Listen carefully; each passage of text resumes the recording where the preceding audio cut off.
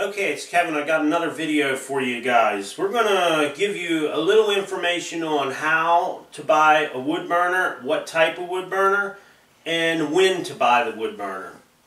Um, the, when you go to look for a wood burner, you want to look for a wood burner that has a blower on it. One thing you don't want to look for is like a potbelly stove. If you're going to be putting this in your house, you want to make sure that your stove is airtight. So what I mean by airtight is you got to have a gasket around the door, you have the gasket around the ash pit. Um, you want to be able to shut the stove down so if it gets out of control, you can shut it down. It don't. It's not going to make any more heat. It's just going to shut down. So gaskets is what you're looking for. Not a Franklin. You don't want a potbelly stove. You definitely want something if you can get it with a blower, you want a sealed tight container, not cast iron. Um, I'm going to show you a little bit more about my stove and what I look for in a stove. Alright, this stove here has a glass door, which you don't need a glass door, but a glass door is pretty nice because then you can see what you're burning in there and how much hot coals you still have. And it has the gasket, as you can see, around the door. So I know when I close this door, it's airtight. Now you have to watch. I my gasket up here on the glass, it's it's getting a little worn. You can see it's getting tore up. Eventually I'll have to change it, but I don't have any air leaks yet. So I'm just going to leave it alone. When looking for a stove, I know you can go to Lowe's, you can go to these little stores, you can get the the uh, stove that has a bottom in it and it's all stone. Okay, that's not letting any air come up through there, so that's not a good thing. I wouldn't want that stove. I want a stove with a grate in it, just like this. You got to have a grate. And uh, we want an ash pit. You can see we got an ash pit on this one, and you want an ash pit. Ash pit is really good. You can pull it out and dump your ashes out. This comes right out. It's just a tray. Slides in there, catches your ashes. And this one also has a door, uh, uh, gasket around the bottom door which holds out air. This one's going to need changed here real shortly. I can see it's getting bad. I've changed the top one once. I haven't changed the bottom one. Okay. Now, another thing about the stove. If you're going to be burning a wood burner, you need one of these. That's a thermostat. That's a, for your stack.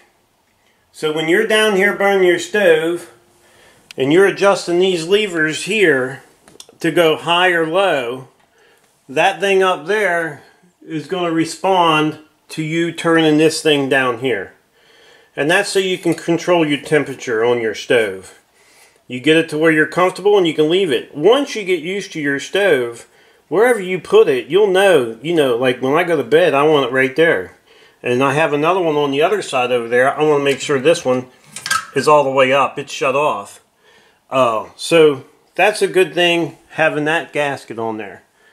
Now, if you're cleaning this stove, say, I got some stone in the back are getting a little rough. You can see they're getting rough. That's not a big deal. But, like, if you're going to buy an, uh, a used stove, what you want to do is you want to look for warpage inside here. You want to look for any type of warpage on your metal and on your outside of your metal. Look for warpage. If you got warpage, you know that stove's been burnt pretty hot. Now, most uh, stoves, this is going to be hard to do, but uh, like mine, cleaning the stack, I can take a mirror if I don't want to climb up on that roof, and I can actually see right up my stack up in there. I can actually, you can see daylight up in there. Small mirror, pretty nice. Now, if I put a flashlight on there, I'd be able to check it out a lot better. You can see the damper up in there flapping back and forth. Okay, now after you get your stove, you want to look, and it'll have on the back of the stove, and you'll see a, a thing back here. There's a chart, and it'll tell you how far. It'll tell you how far you can have it away from the wall. You definitely don't want to get it any closer than what it says on here. And then the same way with your stack. When you buy your stack to go through the ceiling, it'll tell you. I think mine's two inches to combustibles when it goes up through there, which is uh, pretty good. I don't have any problem with it. Now, a damper. I have one up here. Um, that I can shut down if I have to. Then I also have a, a sort of a damper here. What this does is when I push this in, all the heat from back here, it closes this piece off back in here. It closes it off and all the heat has to come up and go through here. So it's sort of like a smoke shelf. So it kind of holds the heat in there. So that's a good thing to have too if you can find one with something like that on it. But like I said, most stoves, you know, you go out. If you're going to buy one in, say, the uh, winter months, you're going to pay a lot more money for it. If you buy a stove in the summer months and you're going to buy a used one, look on Craigslist or your uh, local ads or something, you probably get a better deal in the summer. I don't, I, everything I usually buy is in the opposite. Like if I want to buy a boat, I buy it in the winter. I want to buy a motorcycle, I buy it in the winter. I'm going to buy a wood burner, I'm going to buy it in July or August when nobody wants them around. That's the best time to buy a stove. So, that's a look at the stove, my stove. Don't forget, you don't want a cast iron stove in your house. I don't, unless you just want it for looks. I don't think I'd put it inside my house. Now, my first stove I had in here, I actually had a Franklin stove in here. And uh, we'd be sitting in the living room, and all of a sudden we'd see a, a spark fly out the side. And uh, that's definitely not good in your house. So that's why I ended up looking for something like this.